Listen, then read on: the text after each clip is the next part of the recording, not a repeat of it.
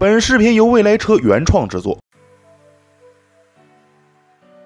现在五座的 SUV 已载不住广大车友的梦想了，现在都争相追捧七座中型 SUV，捷途 X70 就是不错的选择。可以说，奇瑞终于开窍了。目前大批的捷途 X70 的实车已经到店，售价意外曝光，再不火天理难容。奇瑞汽车在国内汽车市场销量一直不如人意，其主要问题应该是其外观的设计方面。奇瑞汽车也深知这一点，于是，在新车的设计方面也是下足了硬功夫。捷途 X70 的外观设计可圈可点，前脸设计非常大气，镀铬的进气格栅呈四边形，与两侧的 LED 大灯相连接，大灯看起来犀利耀眼，尾灯是分体式的，非常耐看，增加了整个车的辨识度。外观整体看起来还是不错的。捷途 X70 的内饰方面整体来看也还不错，T 型中控台将一表盘、大尺寸多媒体液晶显示屏以及前中储物箱融为一体，简洁大方。在动力方面，奇瑞捷途 X70 搭载的是一点五 T 涡轮增压发动机。涡轮增压发动机的特点是低能耗、环保、省油，动力强劲。其功率最大是一百四十七马力，最大功率为一百零八 kW。转动系统配备的是手动六档双离合变速箱。手动六档双离合的变速箱不仅有手动变速的灵活性，还能提供无间断的动力输出。出众的外观、高端的配置、强劲的动力，新车售价价仅为八万元。这样的售价定位真的是实惠，性价比超高。新车已到 4S 店，快去围观一波吧！